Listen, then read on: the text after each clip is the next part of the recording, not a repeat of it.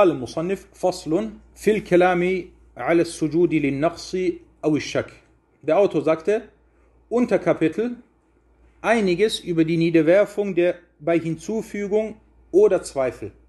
قال ومن ترك ركنا فذكره بعد شروعه في قراءة ركعة أخرى بطلت التي تركه منها وقبله يعود وجوبا فيأتي به وبما بعده وإن علم بعد السلام فكترك ركعة كاملة.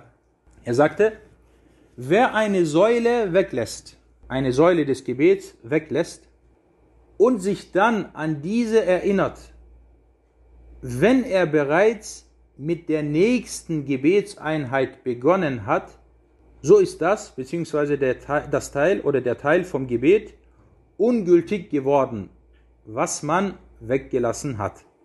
Wir haben hier eine Säule.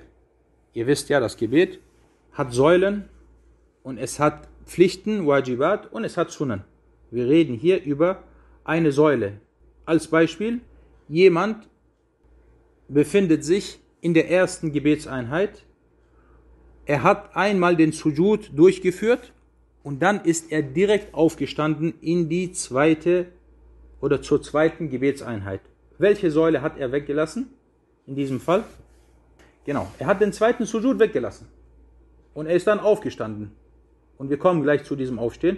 Fakt ist, diese Gebetseinheit oder dieser Teil vom Gebet ist ungültig geworden. Er muss dann diese erste Raka'a wegstreichen. Und er muss diese dann später zusätzlich hinzufügen. Also vom Äußeren her würde er dann sogar fünf Gebetseinheiten verrichten. Aber die erste ist ja ungültig. Er sagte, jetzt kommt ein wichtiger Hinweis. Und wenn man sich davor noch erinnern sollte, dann muss man dazu zurückkehren und es durchführen und was noch danach kommt.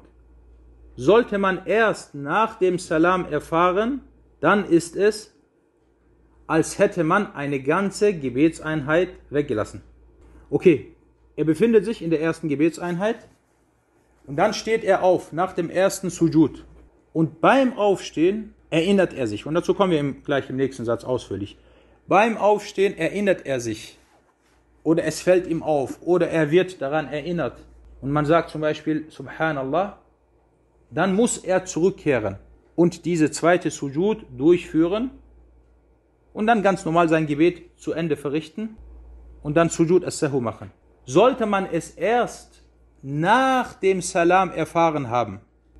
Er hat dann das Gebet beendet und dann hat man zu ihm gesagt, in der ersten Raka'a hast du einen Rücken weggelassen.